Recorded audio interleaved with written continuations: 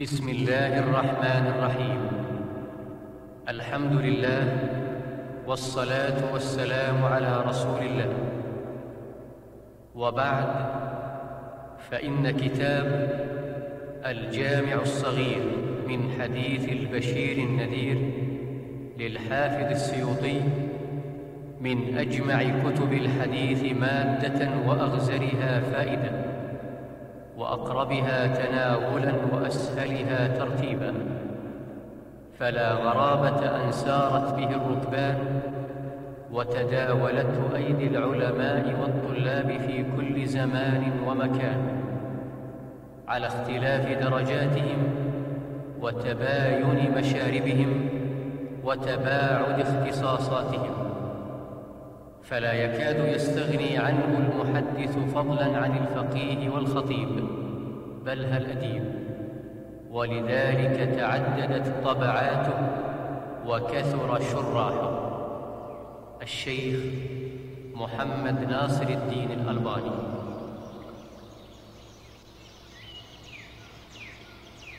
يسعد مؤسسة أحد الإسلامية أن تقدم مختارات من الجامع الصغير في أحاديث البشير النذير وزيادته لخاتمة الحفاظ جلال الدين عبد الرحمن بن أبي بكر السيوطي رحمه الله. إخوتنا وأخواتنا السلام عليكم ورحمة الله تعالى وبركاته. وبعد فهذه مجموعة من أحاديث رسول الله صلى الله عليه وسلم اخترناها من الجامع الصغير في أحاديث البشير النذير وزيادته للإمام السيوطي. راعينا في اختيارها أن تكون مما دون في كتاب المحدث المحقق الشيخ محمد ناصر الدين الألباني. صحيح الجامع الصغير وزيادته. من الطبعة الثانية لعام 1406 هجرية.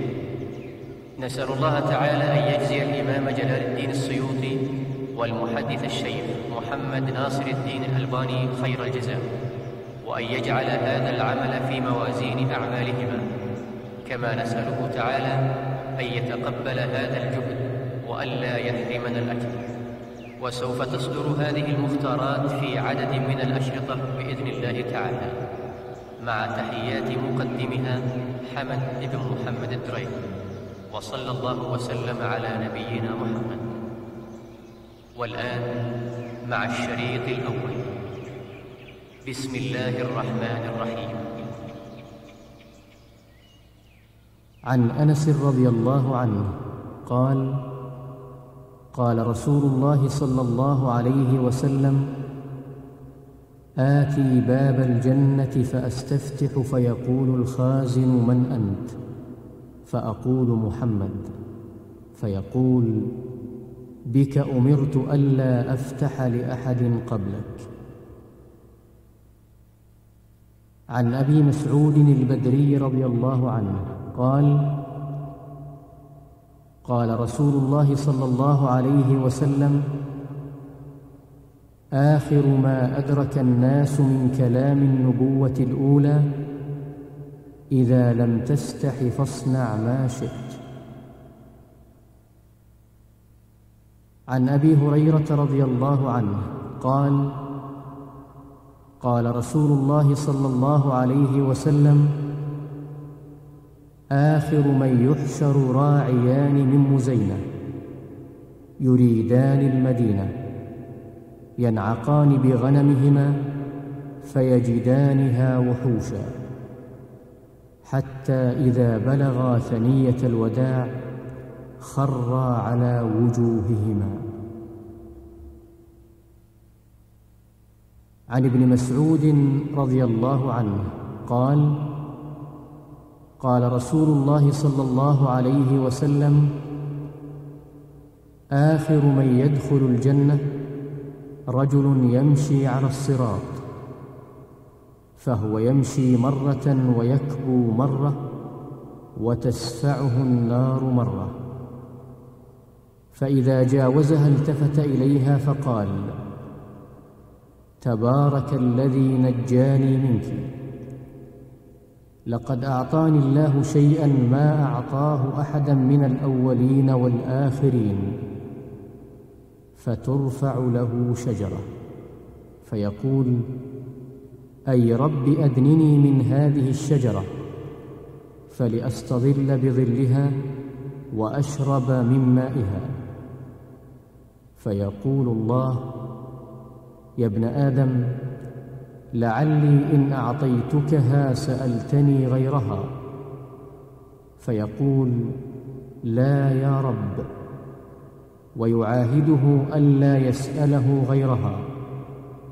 وربه يعذره لأنه يرى ما لا صبر له عليه فيدنيه منها فيستظل بظلها ويشرب من مائها ثم ترفع له شجرة أخرى هي أحسن من الأولى فيقول أي ربي أدنني من هذه لأشرب من مائها وأستظل بظلها. لا أسألك غيرها. فيقول يا ابن آدم ألم تعاهدني ألا تسألني غيرها؟ فيقول لعلي إن أدنيتك منها تسألني غيرها. فيعاهده ألا يسأله غيرها.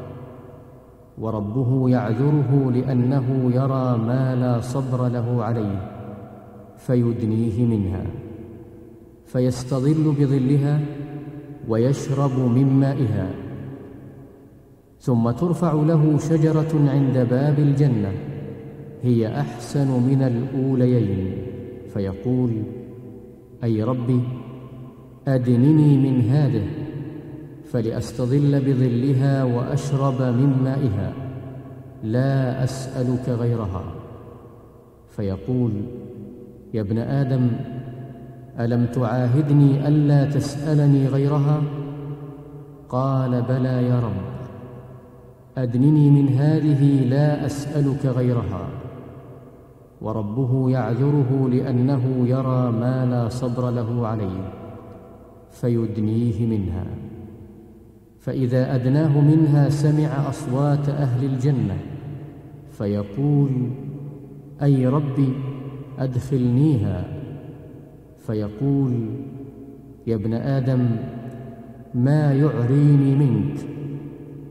أيرضيك أن أعطيك الدنيا ومثلها معها؟ فيقول أي ربي أتستهزئ مني وأنت رب العالمين؟ فيقول إني لا أستهزئ منك ولكني على ما أشاء قادر. عن ابن مسعود رضي الله عنه قال قال رسول الله صلى الله عليه وسلم آكل الربا وموكله وكاتبه وشاهداه إذا علموا ذلك والواشمة والموشومة للحسن ولاوي الصدقة والمرتد اعرابيا بعد الهجرة ملعونون على لسان محمد يوم القيامة.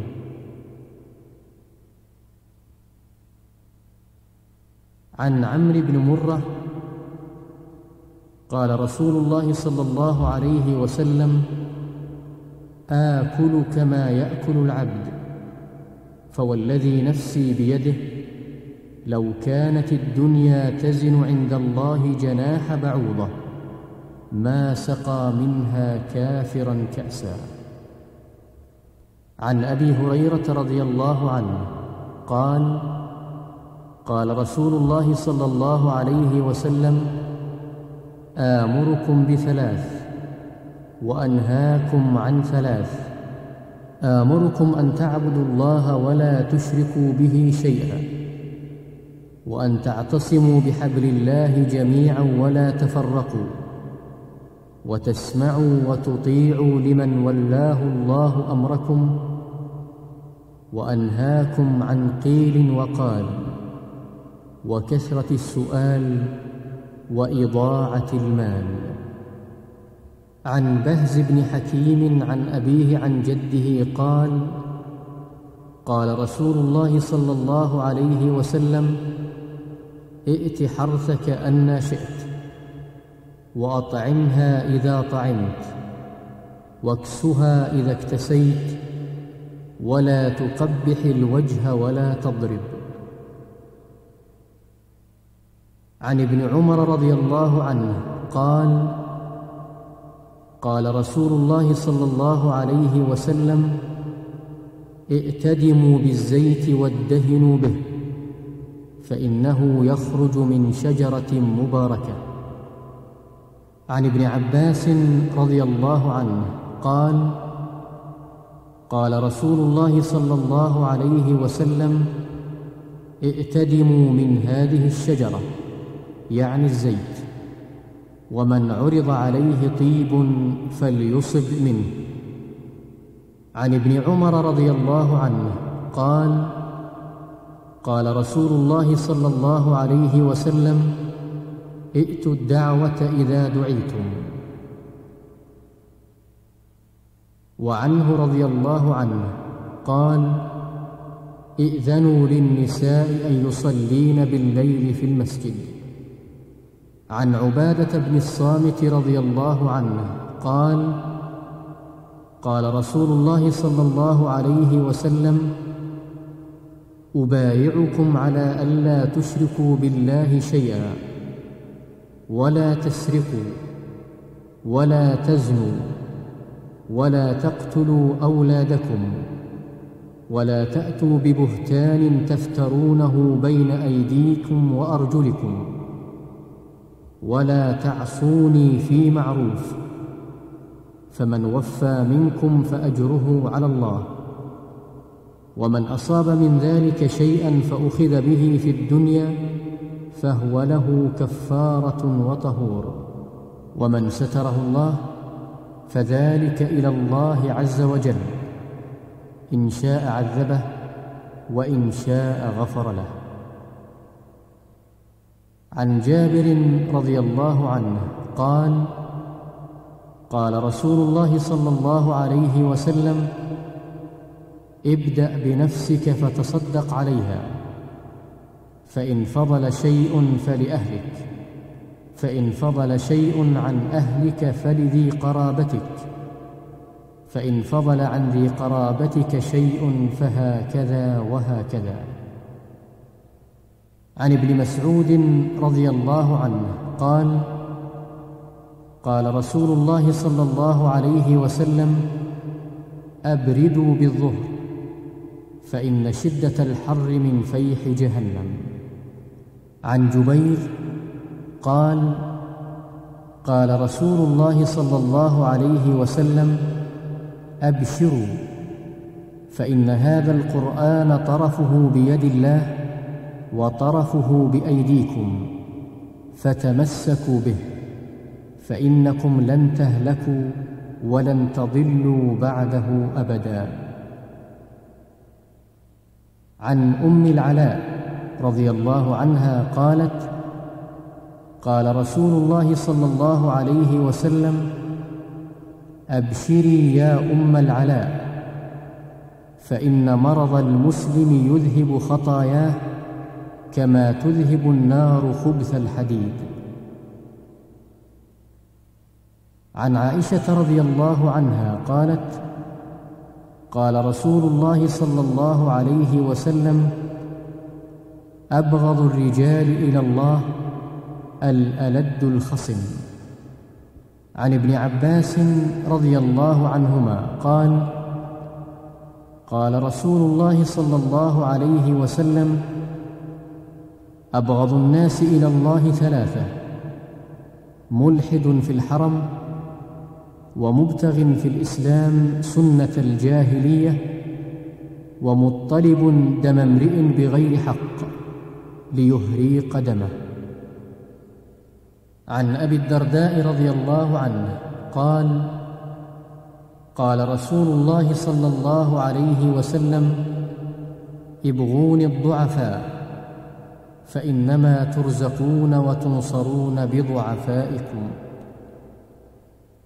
عن ابن عباس رضي الله عنه قال قال رسول الله صلى الله عليه وسلم ابن آدم ستون وثلاثمائة مفصل على كل واحد منها في كل يوم صدقة. فالكلمة الطيبة يتكلم بها الرجل صدقة وعون الرجل أخاه على الشيء صدقة والشربة من الماء يسقيها صدقة وإماطة الأذى عن الطريق صدقة. عن أبي مالك الأشعري رضي الله عنه قال قال رسول الله صلى الله عليه وسلم ابن أخت القوم منهم. عن عبد الرحمن بن عوف رضي الله عنه قال قال رسول الله صلى الله عليه وسلم أبو بكر في الجنة وعمر في الجنة وعثمان في الجنة وعلي في الجنة وطلحة في الجنة والزبير في الجنة وعبد الرحمن بن عوف في الجنة وسعد بن أبي وقاص في الجنة وسعيد بن زيد في الجنة وأبو عبيدة بن الجراح في الجنة. عن أبي هريرة رضي الله عنه قال قال رسول الله صلى الله عليه وسلم أتاكم أهل اليمن. هم أرق أفئدة وألين قلوبا الإيمان يمان والحكمة يمانية والفخر والخيلاء في أصحاب الإبل والسكينة والوقار في أهل الغنم. وعنه رضي الله عنه قال قال رسول الله صلى الله عليه وسلم أتاكم أهل اليمن. هم أضعف قلوبا وأرق أفئدة. الفقه يمان والحكمة يمانية. وعنه رضي الله عنه قال قال رسول الله صلى الله عليه وسلم أتاكم شهر رمضان شهر مبارك فرض الله عليكم صيامه. تفتح فيه أبواب الجنة. وتغلق فيه أبواب الجحيم وتغل فيه مردة الشياطين وفيه ليلة هي خير من ألف شهر. من حرم خيرها فقد حرم. عن أبي موسى رضي الله عنه قال قال رسول الله صلى الله عليه وسلم أتاني آت من عند ربي فخيرني بين أن يدخل نصف أمة الجنة وبين الشفاعة فاخترت الشفاعة وهي لمن مات لا يشرك بالله شيئا. عن أبي طلحة رضي الله عنه قال قال رسول الله صلى الله عليه وسلم اتاني ات من عند ربي عز وجل فقال من صلى عليك من أمتك صلاة كتب الله له بها عشر حسنات ومحى عنه عشر سيئات ورفع له عشر درجات ورد عليه مثلها. عن أبي عسيب قال قال رسول الله صلى الله عليه وسلم أتاني جبريل بالحمى والطاعون فأمسكت الحمى في المدينة وأرسلت الطاعون إلى الشام فالطاعون شهادة لأمتي ورحمة لهم ورجس على الكافرين. عن عبادة بن الصامت رضي الله عنه قال قال رسول الله صلى الله عليه وسلم أتاني جبريل فقال يا محمد اشتكيت؟ قلت نعم. قال بسم الله أرقيك من كل شيء يؤذيك. من شر كل نفس وعين حاسد بسم الله أرقيك والله يشفيك. عن أبي طلحة رضي الله عنه قال قال رسول الله صلى الله عليه وسلم أتاني جبريل فقال يا محمد أما يرضيك أن ربك عز وجل يقول إنه لا يصلي عليك من أمتك أحد صلاة إلا صليت عليه بها عشرا. ولا يسلم عليك أحد من أمتك تسليمه إلا سلمت عليه عشرا. فقلت بلى أي ربي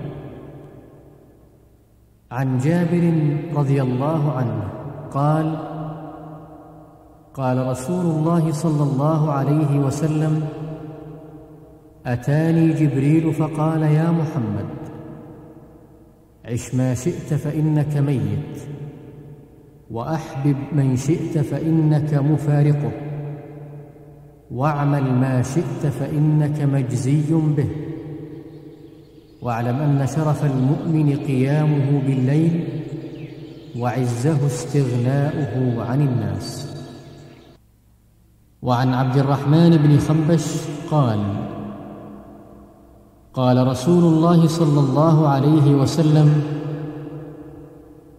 أتاني جبريل فقال يا محمد قل. قلت وما أقول؟ قال قل أعوذ بكلمات الله التامات التي لا يجاوزهن بر ولا فاجر. من شر ما خلق وذرأ وبرأ ومن شر ما ينزل من السماء ومن شر ما يعرج فيها ومن شر ما ذرأ في الأرض وبرأ ومن شر ما يخرج منها ومن شر فتن الليل والنهار ومن شر كل طارق يطرق إلا طارقا يطرق بخير يا رحمن. عن جابر بن سمره رضي الله عنه قال قال رسول الله صلى الله عليه وسلم أتاني جبريل فقال يا محمد من أدرك أحد والديه فمات فدخل النار فأبعده الله. قل آمين. فقلت آمين. قال يا محمد من أدرك شهر رمضان فمات فلم يغفر له فأدخل النار فأبعده الله قل آمين فقلت آمين. قال ومن ذكرت عنده فلم يصل عليك فمات فدخل النار فأبعده الله قل آمين فقلت آمين.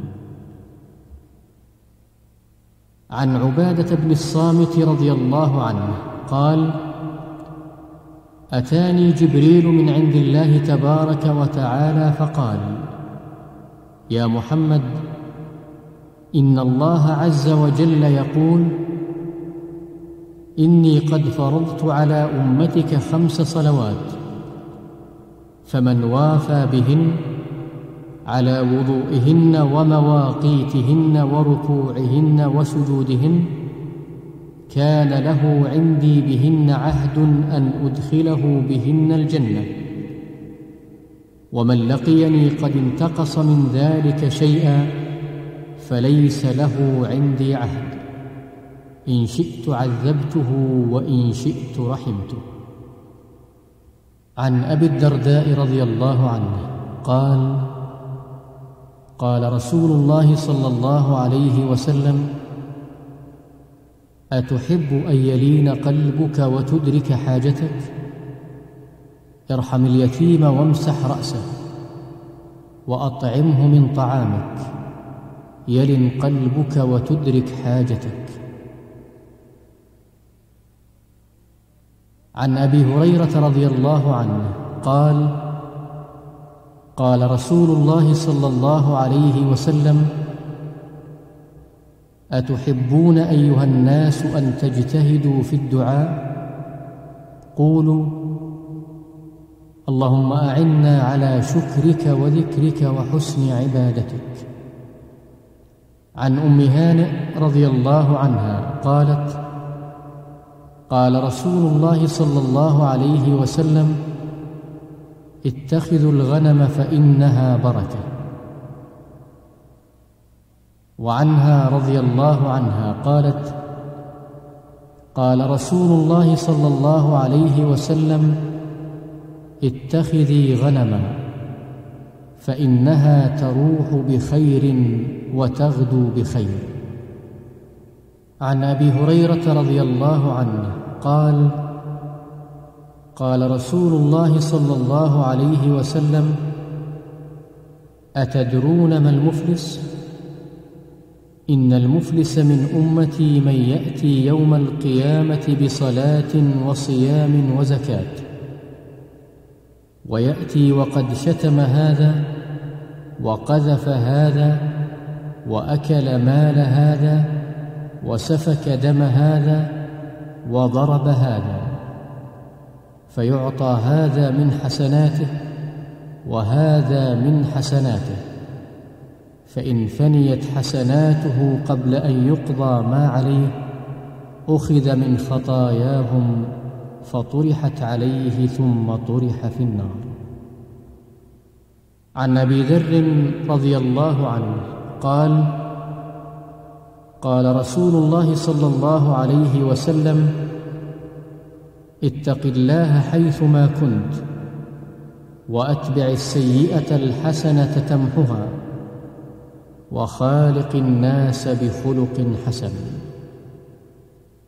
عن جابر قال قال رسول الله صلى الله عليه وسلم اتق الله ولا تحقرن من المعروف شيئا. ولو أن تفرغ من دلوك في إناء المستسقي. وأن تلقى أخاك ووجهك إليه منبسط. وإياك وإسبال الإزار فإن إسبال الإزار من المخيلة ولا يحبها الله. وإن امرؤ شتمك وعيرك بأمر ليس هو فيك فلا تعيره بأمر هو فيه. ودعه يكون وباله عليه وأجره لك ولا تسبن أحدا. عن أبي هريرة رضي الله عنه قال قال رسول الله صلى الله عليه وسلم اتق المحارم تكن أعبد الناس وارض بما قسم الله لك تكن أغنى الناس. وأحسن إلى جارك تكن مؤمنا. وأحب للناس ما تحب لنفسك تكن مسلما. ولا تكثر الضحك فإن كثرة الضحك تميت القلب. عن جابر رضي الله عنه قال قال رسول الله صلى الله عليه وسلم اتقوا الظلم فإن الظلم ظلمات يوم القيامة. واتقوا الشح فإن الشح أهلك من كان قبلكم وحملهم على أن سفكوا دماءهم واستحلوا محارمهم. عن سهل قال قال صلى الله عليه وسلم اتقوا الله في البهائم المعجمة. فاركبوها صالحة وكلوها صالحه عن أم سلمة رضي الله عنها قالت قال رسول الله صلى الله عليه وسلم اتقوا الله في الصلاة وما ملكت أيمانكم. عن النعمان بن بشير رضي الله عنه قال قال رسول الله صلى الله عليه وسلم اتقوا الله واعدلوا في أولادكم. عن ابن مسعود رضي الله عنه قال قال رسول الله صلى الله عليه وسلم اتقوا الله وصلوا أرحامكم. عن أبي أمامة رضي الله عنه قال قال رسول الله صلى الله عليه وسلم اتقوا الله وصلوا خمسكم وصوموا شهركم وأدوا زكاة أموالكم طيبة بها أنفسكم وأطيعوا ذا أمركم تدخلوا جنة ربكم. عن أبي هريرة رضي الله عنه قال قال رسول الله صلى الله عليه وسلم اتقوا المجذوم كما يتقى الأسد.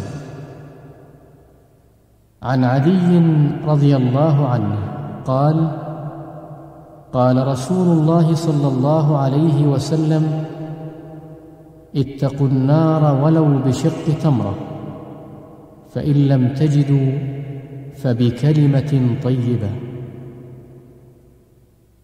عن خزيمة بن ثابت رضي الله عنه قال قال رسول الله صلى الله عليه وسلم اتقوا دعوة المظلوم فإنها تحمل على الغمام.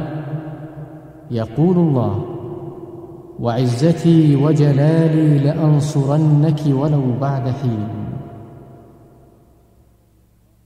عن ابن عمر رضي الله عنه قال قال رسول الله صلى الله عليه وسلم اتقوا دعوة المظلوم فإنها تصعد إلى السماء كأنها شرارة. عن أنس رضي الله عنه قال قال رسول الله صلى الله عليه وسلم اتقوا دعوة المظلوم وإن كان كافرا. فإنه ليس دونها حجاب.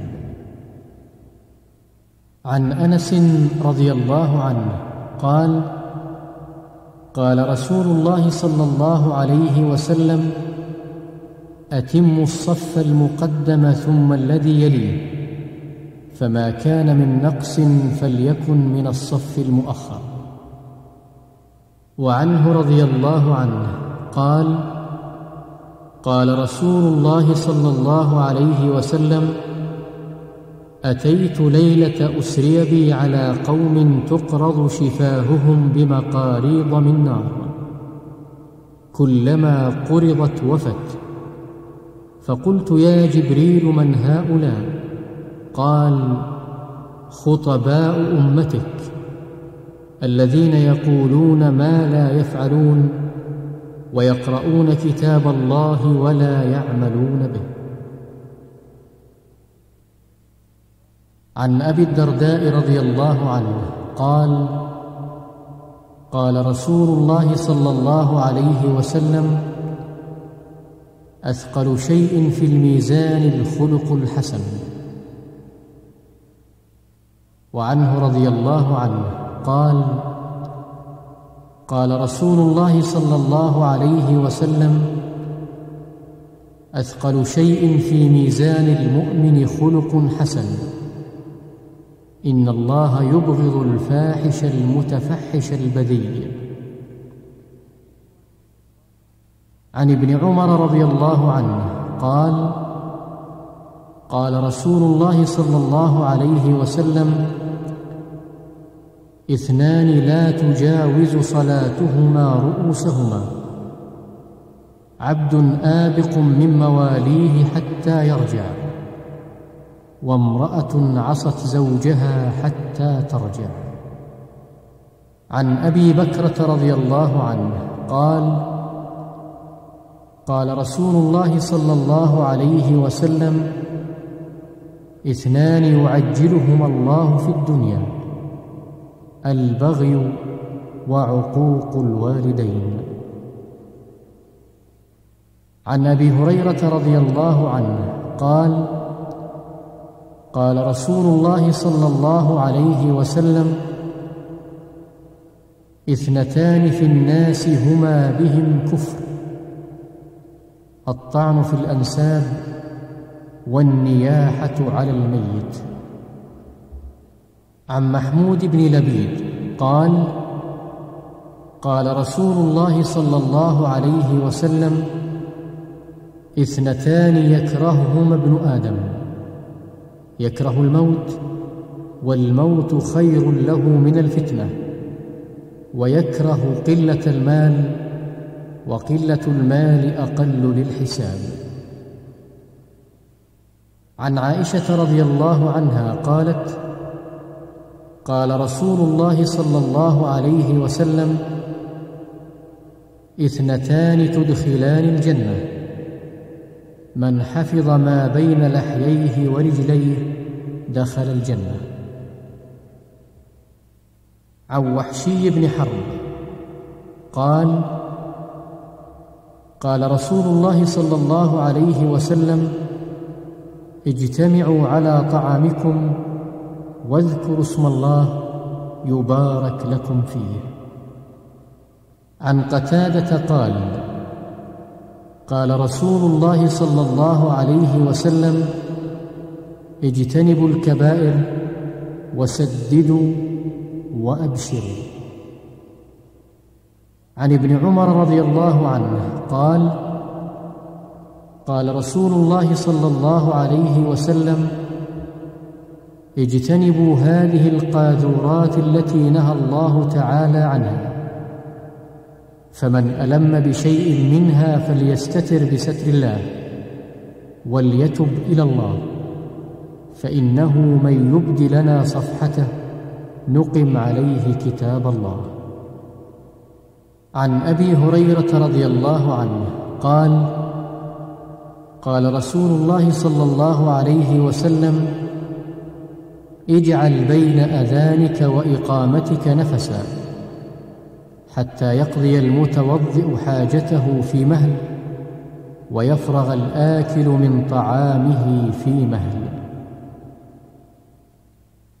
عن ابن عمر رضي الله عنه قال قال رسول الله صلى الله عليه وسلم اجعلوا آخر صلاتكم بالليل وترا. وعنه رضي الله عنه.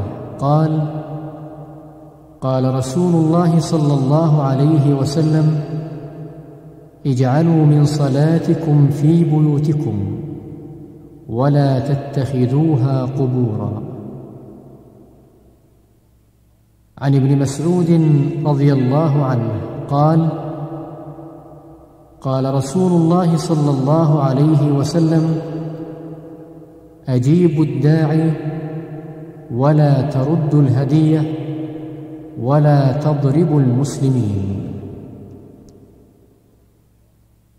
عن ابن عمر رضي الله عنه قال قال رسول الله صلى الله عليه وسلم أجيبوا هذه الدعوة إذا دعيتم لها.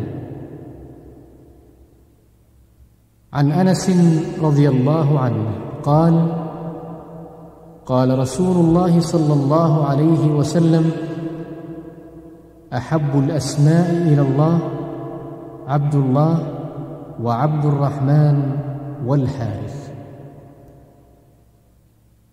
عن عائشة رضي الله عنها قالت قال رسول الله صلى الله عليه وسلم أحب الأعمال إلى الله أدومها وإن قل.